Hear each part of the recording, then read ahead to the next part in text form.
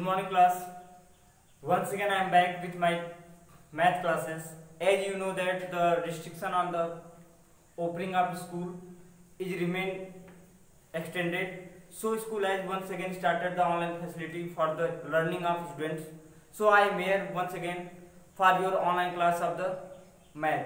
Today I will take the new chapter that is chapter number third and the chapter name is rational number. Okay तो हम आज start करेंगे एक नया chapter इसका नाम क्या है? रेशनल नंबर है।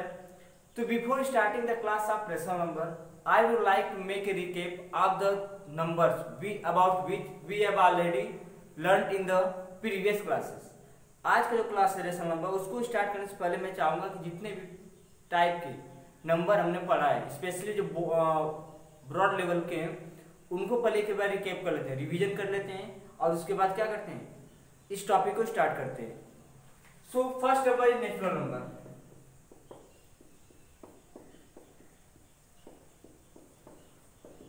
पहला नंबर देखा क्या है? Natural number what are natural number natural numbers are those numbers which started from one and moving two three four five like this in further natural number one number होता है जो one से स्टार्ट होता है two three four five होते हुए आगे ऐसे ही चलता चला जाता है। कहाँ खत्म होता है इसका कोई पता नहीं है, ठीक है?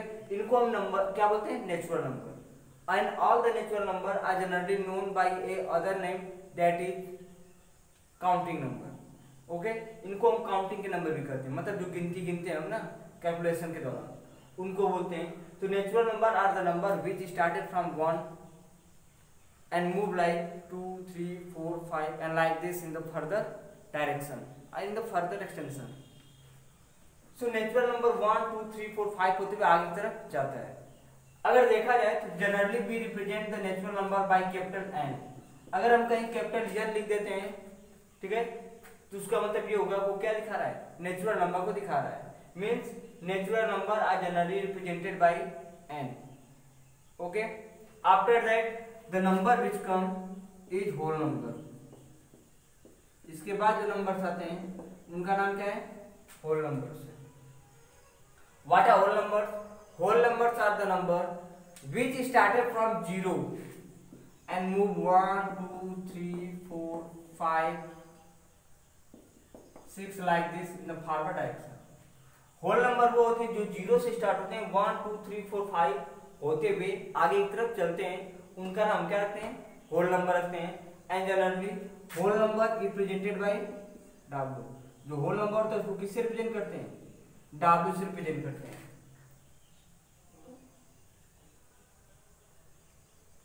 किससे करते हैं? डब्ल्यू से रिप्रेजेंट करते हैं। क्लियर तो नेचुरल नंबर नेचुरल नंबर ये number which start from one two three four five and move like this whole number the number which started from zero one two three four five move like this and represented by W M अगर ध्यान से देखोगे तो हम कह सकते हैं यहाँ से लेकर यहाँ तक क्या है?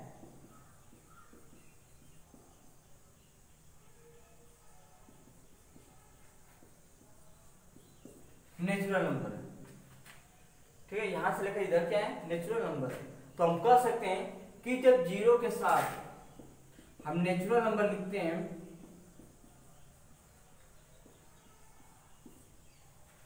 तो वो पूरा पूरा नंबर किस नाम से जानता है?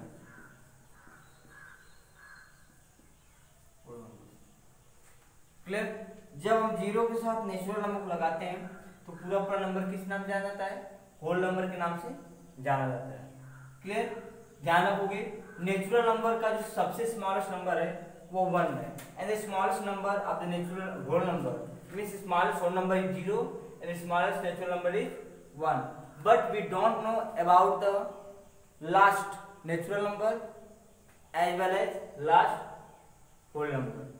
हमें नहीं पता कि अंतिम होल नंबर क्या है, अंतिम नेचुरल नंबर क्या है। बट हमें ये पता होना चाहिए कि जो पहला, यानी जो फ़र्स्ट नेचुरल नंबर आता है या स्मॉलेस्ट नेचुरल नंबर जो है, वो वन है, और स्मॉलेस्ट होल नंबर क्या है? ज़ीरो है। Okay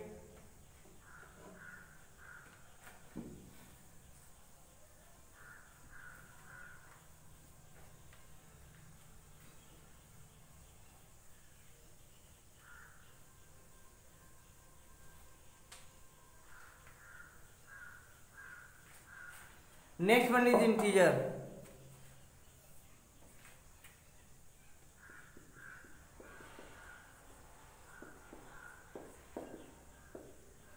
What are integer? Integer are the collection of whole number along with the negative of natural number.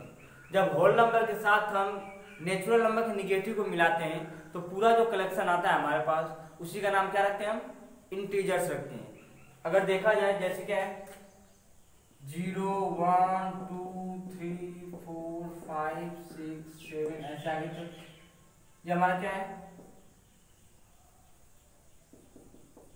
Whole number अब निगेटिव आप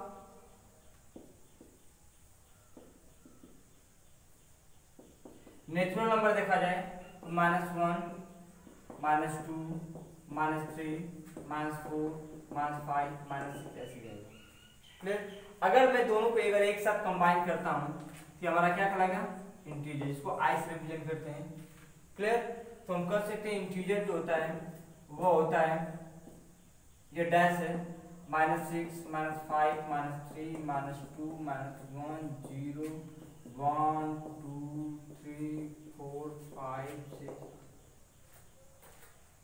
clear तो हम कर सकते हैं कि इंटीजर जो होता है, वह कलेक्शन होता है होल नंबर का साथ ही साथ नेचुरल नंबर के नेगेटिव का। उसको आई से रिप्रेजेंट करते हैं। लिखना चाहे तो हम कह सकते हैं कि मान लो कि इधर से नंबर स्टार्ट होता है माइनस सिक्स हम रिप्रेजेंट कर रहे हैं। Minus six minus five minus three minus two ठीक है? इसके इधर कहाँ तक है, ये नहीं पता है। उसके उधर कहाँ तक है, हमें नहीं पता है। क्लियर तो इस हिसाब से हम कह सकते हैं कि जो इंटीरियर होता है, उसका कोई इंडिंग पॉइंट नहीं पता होता। और ना ही इनिशियल पॉइंट कहाँ से शुरू होता है, कहाँ खत्म होता है, हमें नहीं पता है। ठीक है? स्मॉलेस्ट इंटीजर और लार्जेस्ट इंटीजर या स्मॉलेस्ट और ग्रेटेस्ट इंटीजर के बारे में बात किया जाए तो हम नहीं बता सकते हैं कि कौन स्मॉलेस्ट है, कौन ग्रेटेस्ट है, क्योंकि इसका कोई इंडिंग पॉइंट ही नहीं दोनों साइड एक्सटेंड करता है। जैसे होल नंबर में वो एक साइड एक्सटेंड कर रहा था। ज़ीरो उसका होल नंबर क्या था? ज़ीरो उसका लास्ट था एक तरफ़। दूसरे तरफ़ वो कहाँ तक जाएगा, किसी को पता नहीं था। क्लियर लेकिन यहाँ पे थोड़ा क्या है? उल्टा मामला है। यहाँ क्या कि ना तो इधर का पता है इंट और ना ही इधर का इंट पता है। Okay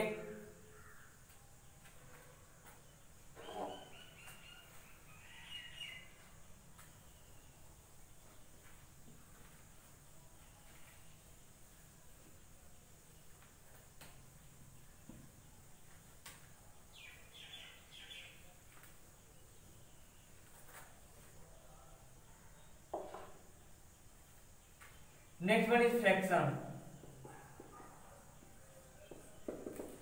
What is fraction? Fraction is the if a number are represented in the form of a by b, and condition is that a and b both are natural number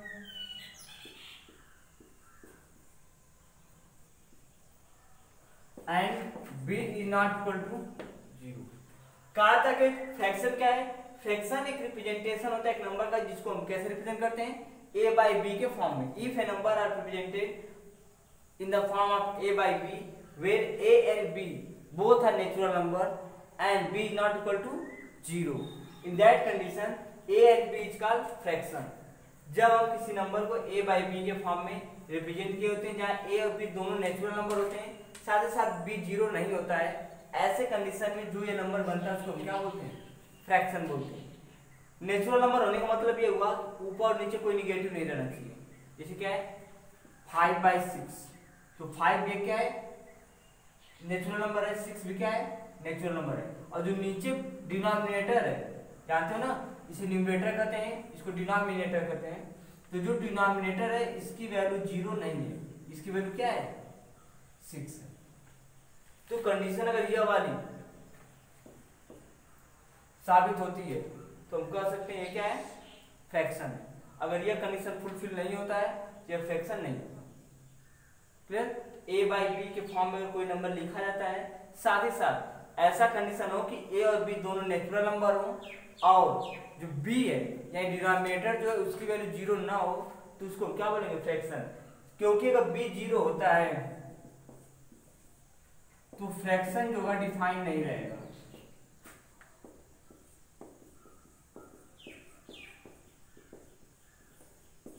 Fraction not defined fraction defined नहीं होगा। क्योंकि किसी भी number को अगर zero से divide करते हो तो हमें यह नहीं पता होता है कि वो कितने टाइम डिवाइड करेगा। जिसकी वैल्यू हम इनफाइनाइट मानते हैं। क्या मानते हैं? इनफाइनाइट तो इसीलिए हम क्या करते हैं? डिनोमिनेटर को ज़ीरो करने से बचते हैं। Clear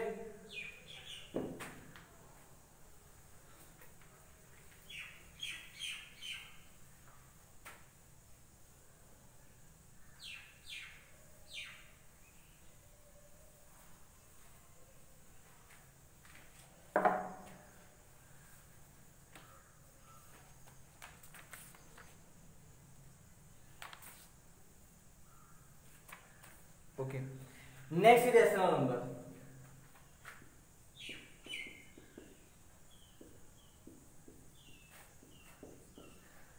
ठीक है? What are rational number if a number is represented in the form of a by b कहीं कहीं पे पी बाई क्यू भी दिया होता है।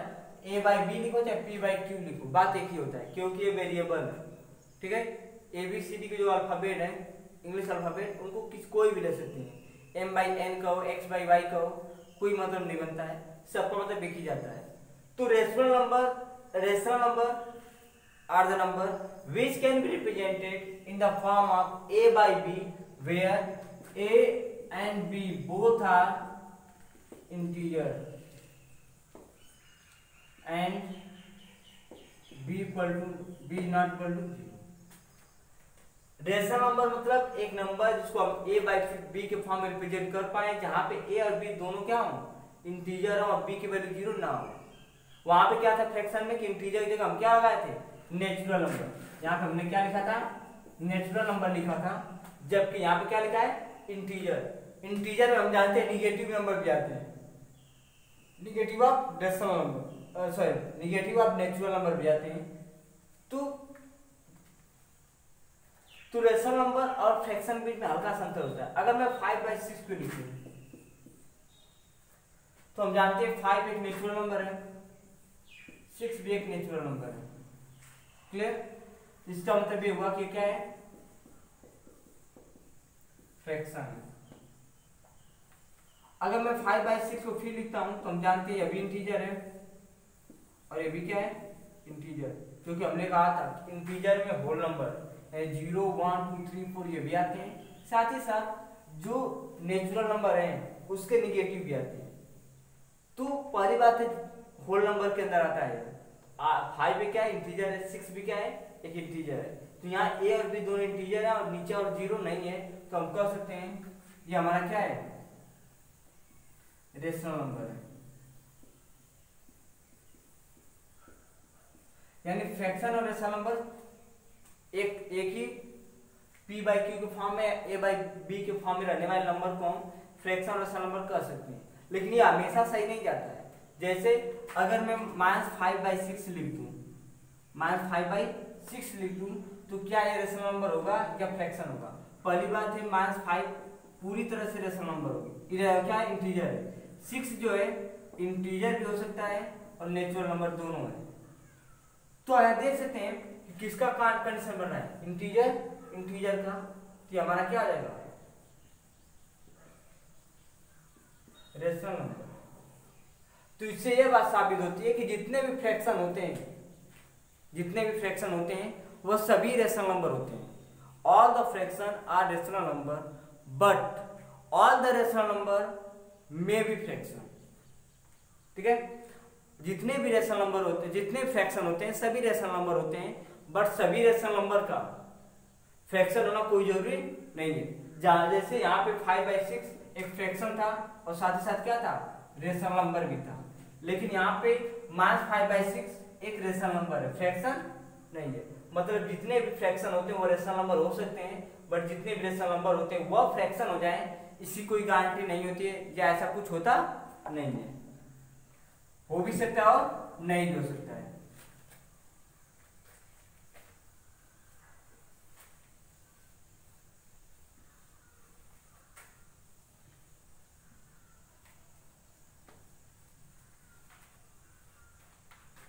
Okay.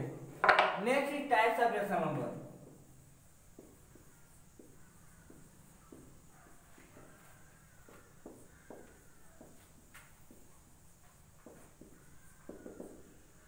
Rational number के टाइप देखा जाए तो रेशनल के दो टाइप्स आते हैं।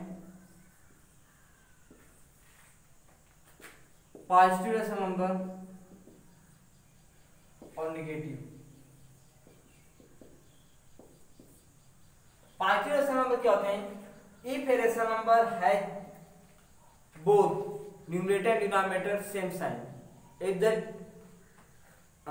the number of rational number है the same sign then it is called a positive rational number अगर न्यूमरेटर और डिनोमिनेटर जो रेशनल नंबर के अगर सेम साइन के हैं तो हम कह सकते हो पॉजिटिव है। Just for example minus five by minus six and five by six both are the positive क्योंकि नीचे ऊपर दोनों का साइन सेम है। यहाँ दोनों का साइन माइनस है और दोनों साइन प्लस है। कोई साइन है तो पॉजिटिव मानते हैं प्लस मानते हैं। कि both are the negative and both are the positive और मैंने एक डिफिनेशन दिया था कि जब साइन सेम होता है या सिंबल सेम होता है तो अभी वो पॉजिटिव कहलाएँगे। क्लियर लेकिन जब सिंबल डिफर डिफर होती है तो हम निगेटिव करते हैं। Just for example minus five by six या five by minus both are the negative rational number दोनों के दोनों क्या है? निगेटिव रेशनल नंबर है। तो ये हमारा रेशनल नंबर से रिलेटेड इतने टॉपिक्स थे। Okay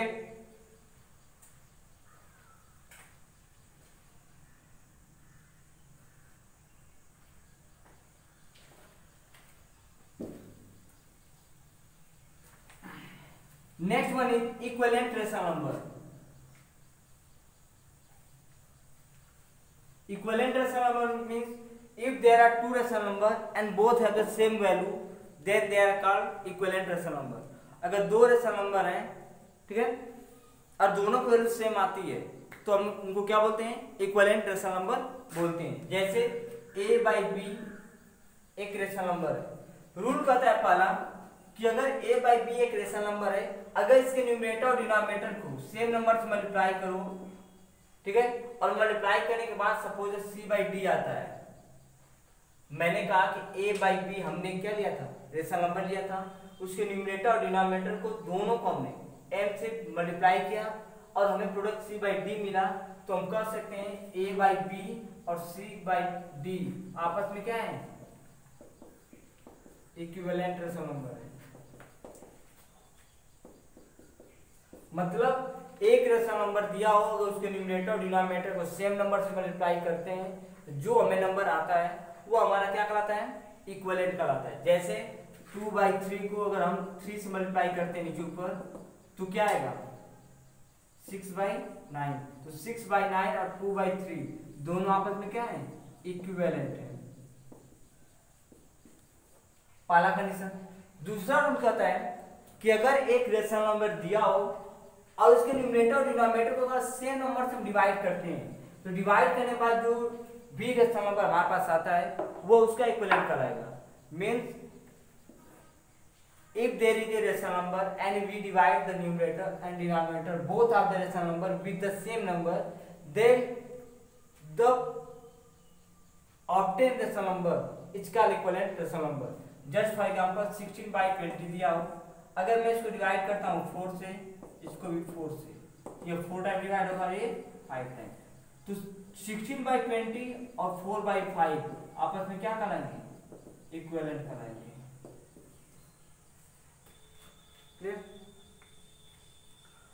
ये हो गया दूसरा रूल थर्ड रूल कहता है सपोज़ दैट कि हमारे पास दो रेशनल नंबर दिया हो। ए बाई बी और सी बाई और हमको क्या दिखाना कि यह दोनों इक्वेलेंट है। क्या है? इक्वेलेंट है। तो इक्वेलेंट तभी होंगे जब ए का मल्टीप्लाई डी में और बी का मल्टीप्लाई सी में। करने के बाद दोनों इक्वल होते हैं। दोनों क्या होते हैं? इक्वल अगर ए बाई बी और सी बाई डी दो रेशनल नंबर दिए हों, दोनों को मल्टीप्लाई करने के बाद दोनों आपस में बराबर आते हैं तो हम कह सकते हैं वो आपस में क्या है? इक्विवेलेंट है। वरना नहीं होंगे। ठीक है? जैसे एग्ज़ाम्पल यहाँ से देखे हम तो क्या हमारा था? टू बाई थ्री था। एक सिक्स बाई नाइन था। इक्वलेंट है या नहीं, इसको चेक करने के लिए क्रॉस मल्टीप्लाई कर लेते हैं। तो टू इंटू नाइन और सिक्स इंटू थ्री एट्टीन ये भी कितना? एट्टीन तो हम कह सकते हैं कि दोनों सेम आ रहे हैं। एट्टीन और एट्टीन इसका मतलब ये हुआ टू बाई थ्री और six by nine both are the equivalent to each other दोनों क्या है सेम वैल्यू रखते हैं। ओके सो आज का क्लास यहीं तक मैं खत्म कर रहा हूँ। From tomorrow I will take the exercise an example of the particular chapter okay one more thing all the students are informed that you should have to come to school for your admission. Okay? जितने भी student हैं, आप अपना admission कराओगे यहाँ पे। जैसे मई में क्लास में चला मई में क्लास चला था तो नॉर्मली क्या था? जो भी लड़के। हमारे यहाँ पुराने पढ़ रहे थे, सभी लोगों को वीडियो सेंड किए जा रहे थे। बट अब क्या होगा? कुछ ऐसे भी स्टूडेंट हो सकते हैं जो दूसरे स्कूल में जा, जाएँगे या हो सकता है दूसरे स्कूल से यहाँ पे आएँगे। तो अब क्या होगा कि जो भी स्टूडेंट्स एडमिशन यहाँ लेगा, ठीक है, उसके लिए एक नया ग्रुप बनेगा, उसी को वीडियो जाएँगे। क्योंकि जो स्टूडेंट यहाँ नहीं पढ़ेगा सिंपल बात, उसको वीडियो भेजने कोई मतलब नहीं बनता है। क्योंकि जहाँ एडमिशन हो लेगा, वहाँ के स्कूल उसको वीडियो प्रोवाइड करेंगे। क्योंकि वहाँ के सिलेबस वहाँ की बुक अलग होंगे, हमारे यहाँ बुक अलग और अलग क्वेश्चन कराए जाएँगे। तो ये बात है। तो आप आई होप कि फिफ्टीन तक fifteen July is the last date time dead है। आप तब तक क्या करोगे? आकर अपना एडमिशन कराओगे, ठीक है? और जो भी प्रोसीजर वगैरह रहेंगे स्कूल के, आप फॉलो करोगे।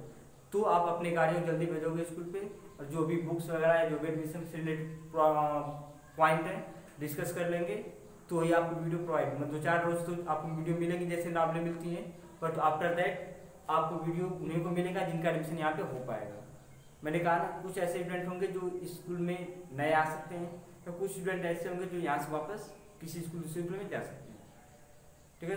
For this purpose we are going to create a new WhatsApp group for the all things okay तो आप अपने गार्जियन से बात कर लोगे और एडमिशन जितना जल्दी होगा, उतना जल्दी आप करा लोगे। Okay thank you